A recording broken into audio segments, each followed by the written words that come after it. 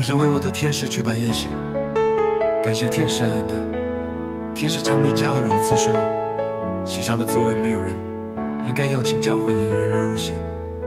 我就变了脸色，我跟天使长米加了争辩，因为这些人配不上这个座位，他们可以坐在合适的座位上。在人间感念这些人的人很多，但没人留意，也没人认识帮助我的天使。我知道他们中间流传一些谣言，说这人是缺乏关爱心理学和精神病，解释这些神迹。我愤怒到要把桌子用剑破开，也不愿让这些人入戏。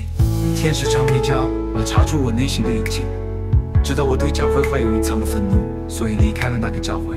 我说是的，在那教会中间经过的所有事情，我都知道，瞒不过我的眼睛，只是看在西塞罗面子上忍了下来。天使长臂加勒如此说，在这个时刻要为教会祈祷。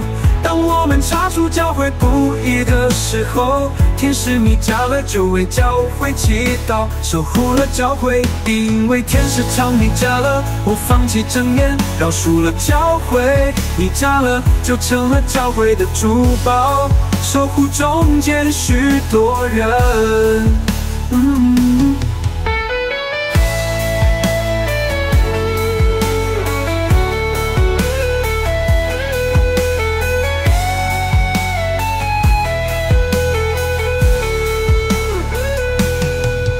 天使长米迦勒，我原本只想邀请西塞罗和几个帮助我的天使入席。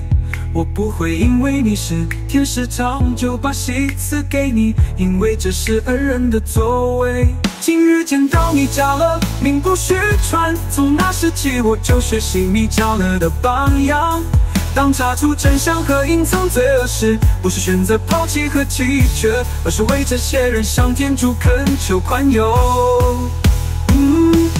天使长米迦勒，我放弃真的饶恕了教会，米迦勒就成了教会的珠宝，守护中间许多人。哦，我感念天使长米迦勒，因为他做了我们教会的珠宝。